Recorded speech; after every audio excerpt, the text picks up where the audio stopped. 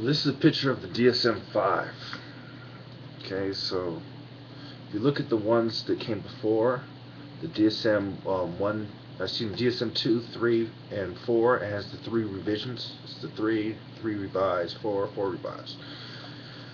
Okay, now let me read to you about the DSM-5. This is from the DSM website. Publication of the fifth edition of Diagnostic and Statistical Manual of Mental Disorders, DSM-5, in May 2013 will mark one of the most anticipated events in the mental health field. We thank you for your interest in DSM-5 and hope that you use this website not only to learn more about DSM-5, but also about its history, its impact, and its developers. Please continue to check the site frequently for updates and more information, blah, blah, blah. So, the DSM-5 is coming in 2013 and it, it goes on to talk about how the website goes on to talk about how there's a DSM-5 task force. Now remember, there's always these superficial regulatory agencies that are really just responsible for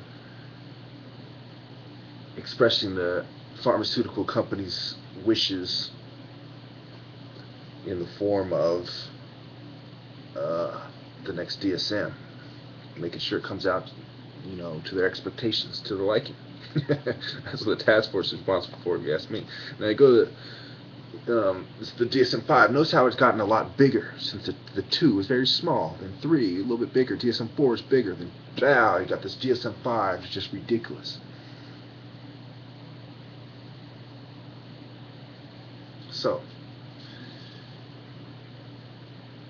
if you understand how this works, then you understand why it doesn't work.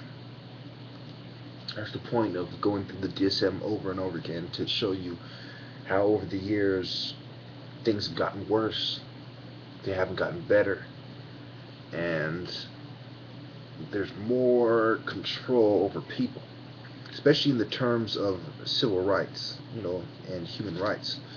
The you see these big corporations that are owned by people in secret societies who have the controlling interests of these corporations and companies, and they lobby Congress and lobby politicians and the president and all these people, and you know, all of our so-called representatives in Congress are really bootlicking to big business.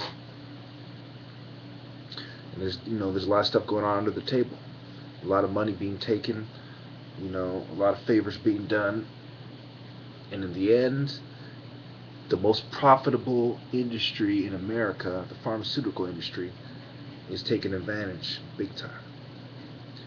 And this mostly goes for um, goes for the companies involved with making psychotropic medications, with making psych meds. Thank you.